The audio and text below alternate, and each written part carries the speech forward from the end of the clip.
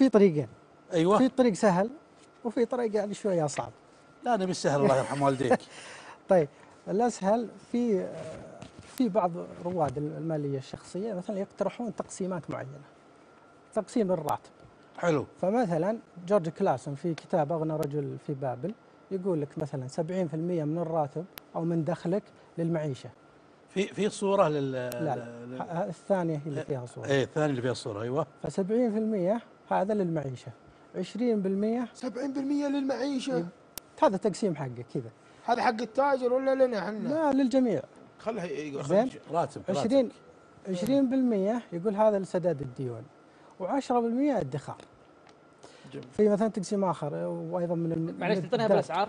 10000 ريال راتب. فيطلع عندك مثلا 7000 معيشة. أها. آه، 2000 آه، سداد ديون أها. و1000 ادخار. والله 3400 يا شيخ. يعني أنا أنا توقعت عديت إذا هي على النسبة اللي ذكرتها. آه هذا هذا مثال بس. في في نسب ثانية. من النسب الدارجة برضو في إليزابيث وارن تقول فغاره هذه. 50 مرة. صحيح. تقول 50% هذا ال- ال- ال- ال- للضروريات. أها. 30% للكماليات. 20% للادخار. فهذا تقسيم ثاني. طبعا ما في تقسيم يمشي على الكل. ما في بند حق مفاجآت؟ تعرف ضيف ولا سيارة ولا خراب؟ فيه طوارئ. تقدر تحط.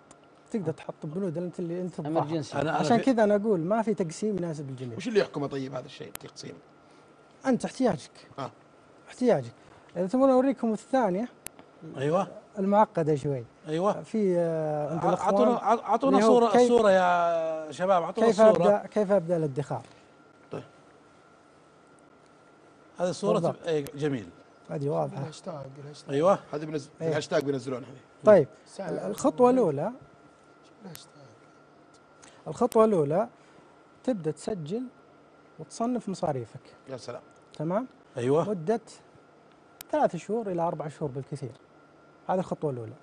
تسجلها وتصنفها. حلو. يعني رحت بقالة مثلا شريت لك ب 500 ريال سجل. طبعا حلو. التسجيل هنا ما راح تسجل كل شيء تفاصيل وانت تكتب خبز مفرود ريالين خبز بر آه، ثلاثة ريال ولا لا؟ خلاص سجل انه بقالة 500 ريال. حلو. رحت المطعم نفس الشيء تسجل مطعم مثلا يا 50 سلام ريال. هذا. تسجيل وتصنيف تسجيل مدة شهرين ثلاث شهور أربع شهور بالكثير. حلو. طيب بعد ما تسجل آه تجي مرحلة اللي هي المراجعة. جميل. تبدأ تجمع البيانات اللي أنت جمعتها ذي البيانات اللي أنت كتبتها واللي سجلتها. جميل. تبدأ تراجعها وتشوف إيش؟ صنفها تقدر تختصر ال- ال- البنود حقتها مثلا. إذا عندك مثلا طلع على 15 10 تقدر تقللها مثلا خمسة ستة بنود. حلو. حلو. وتبدا تطلع متوسطات حقة الصرف. مثلا البند هذا متوسط الصرف عليه مبلغ كذا. البند هذا متوسط الصرف عليه مبلغ كذا. يعني أضع أولويات بعد كذا؟ إيه. ل ل ل ل وش اللي المفروض يصير له الأكثر وش اللي ممكن ألغيه وهكذا لين يصير عندي ادخار واضح. مضبوط. يا سلام. فهنا الحين لما تحط ال- ال- ال- المتوسطات كلها في الأخير بيبقى معك مبلغ. المبلغ هذا هو حق الادخار. يا سلام. تمام؟